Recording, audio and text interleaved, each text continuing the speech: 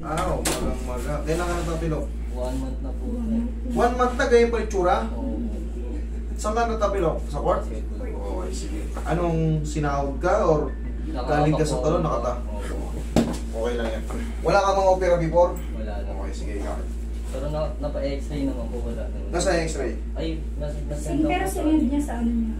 Saan? Sa, WhatsApp? Sa, hindi po, sa may message Tingin. po sa Tingin. Uy, may tissue.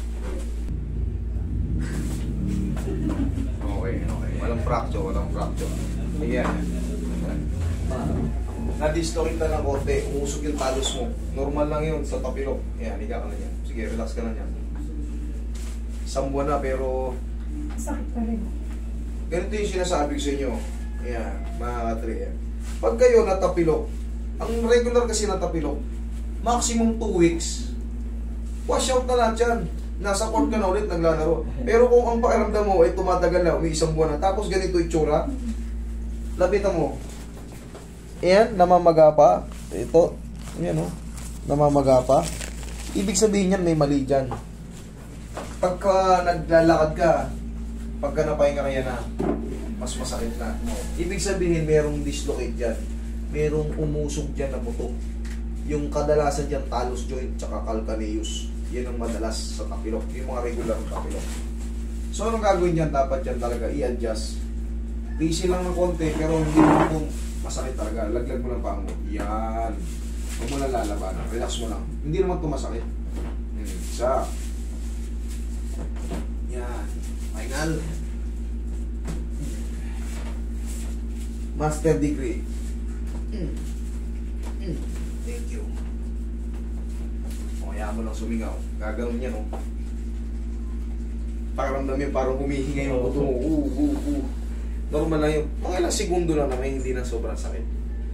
Pakiramdam mo lang parang may kumawalang mga dugo. Mm. Relax na. Okay. Sa una lang naman masakit yun eh. Pero hindi sobrang sakit.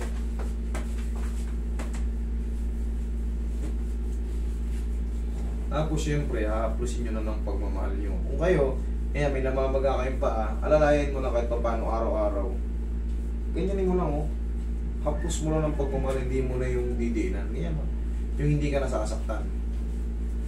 Ganyan, ganyan lang. Para mas mabilis mawala yung pamamaga. Kung gusto mo mas mabilis pa mawala yung pamamaga, e-elevate mo. Ano ibig sabihin elevate? Mas maangat po. Yan. Lagyan mo ng unan. Dito tsaka dito. Kasi pag dito lang, yung tuhod mo naman bukas ng maga. ngawit na ngawit naman. So, kailangan ng diskarte. Komportable. Basta ang mahalaga, iangat mo na ng konti. Para mawala yung pamamaga. Namamaga kasi. Ayan, oh. Ito, yung dito.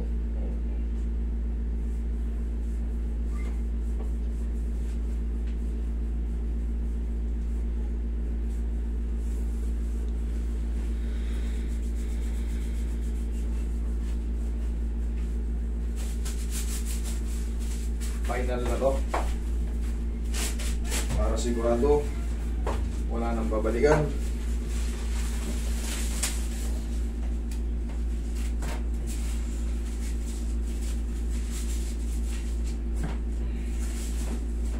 Oh, bandage Roy. Itong bandage yung kakabit ko, tanggalin mo lang mamayang gabi, ha? Huwag ka magbaba, huwag kayong magkukompress sa mga pagtutulog na kayo. Tanggalin nyo, hayaan mo yung nakakala, nakakawala yung singaw. Ay, yung ano. Bawal po siya magbasa. Ngayon, o ito lang naman.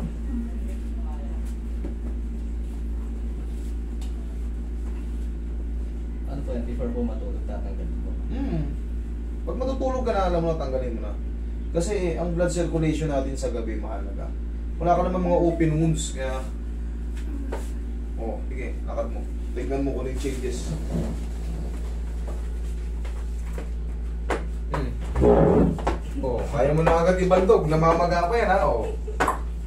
Oh. Yan ang pagkakaiba ng mga na-adjust ng tama.